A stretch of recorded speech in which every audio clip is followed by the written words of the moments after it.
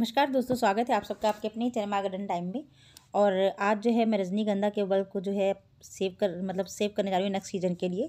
तो वही मैं किस तरह से करती हूँ, उसका तरीका मैं आपके साथ शेयर कर रही हूँ फ्रेंड्स तो ये देखिए मेरा रजनीगंधा का जो ये प्लांट है, और अब जो है इसमें फ्लावरिंग आनी बंद हो चुकी है। अब ये जो है बिल्कुल सूखने लगा है तो इसको जो है मैं अपने पॉट से अलग कर लूँगी, इसके बल्ब को निकाल लूँगी, ताकि इसको सेव करके रखूँगी, ताकि नेक्स्ट सीज़न में इसको फिर से ग्रो कर सकूँ। तो देखिए फ्रेंड्स, मैं अपने, इसको धीरे धीरे मैं जो है, मिट्टी से अलग कर रही हूँ। और ये देखिए, मैंने अलग कर लिया इसे। ये देखिए, ये एक बल्ब से कितने सारे बल्ब इसमें बन जाते हैं। तो अगर आप एक बल्ब लगाएँगे तो ये अपने आप जो है, मल्टीप्लाई होते जाते हैं। तो इससे बहुत सारे बन जाएँगे। तो ये देखिए, मैंने ये, इसको मैं निकाल लूँगी, अलग कर लूँगी। बस अलग करते समय थोड़ा सा ध्यान रखिएगा कि बल्ब आपके पूरे पूरे अलग हों। मतलब ऐसा ना हो कि बीच से वो टूट जाए। तो बड़ा थोड़ा सावधानी से इनको अलग कर लीजिएगा। और ये देखिए, इस तरह से अलग कर रही हूँ मैं। और ये देखिए, इस तरह से हो रहा है। इसमें जो है कुछ छोटे छोटे से भी बल्ब जो है, इसमें देखिए बन गए ये देखिए काफ़ी छोटा सा है। लेकिन क्या हो रहा है कि जो मैं बड़े अलग कर रही हूँ तो ये छोटे छोटे अपने आप से जो है मिट्टी को छोड़ दे रहे हैं। तो ये अपने आप अलग हो जा रहे हैं। तो इनको भी मैं अलग कर ही ले रही हूँ। और इस तरह से जो है मैं अपने सारे बल्ब को अलग कर लिया है। अब जो ये ऊपर का जो ये है, ये सारा मैं जो है कट कर दूँगी पूरा। तो अभी तो मैं थोड़ा सा कट करती हूँ, देखिए, इस तरह से, लेकिन मुझे लग, और इसको थोड़ा सा और कट कर देंगे मतलब काफ़ी काफ़ी हद मतलब ज़्यादा कर दूँगी, बिल्कुल। इसको एकदम नीचे से ले लेंगे पूरा, और ये देखिए, इस तरह से जो है, इस बल्ब को जो है हम इस तरह से पूरा कट कर लेंगे। यहाँ मतलब इसके लीव्स को जो है, वो कट कर लेंगे। अब इसमें जो थोड़ी बहुत आपको, बहुत ध्यान से बस, जब जब इसमें से मिट्टी अलग करिए तो बहुत ध्यान से करिएगा, ताकि इसकी रूट डैमेज ना हो। तो देखिए, इस तरह से जो है, हमने इसको जो है, निकाल लिया है। अब इन सबको मैं जो है अच्छे से वॉश कर लूँगी।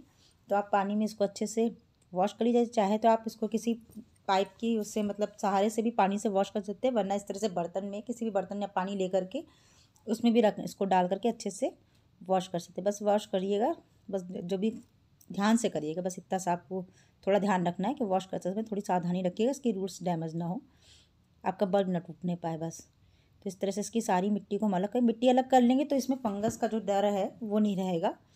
तो इसलिए इसको जो है हम अच्छे से वॉश कर लेंगे।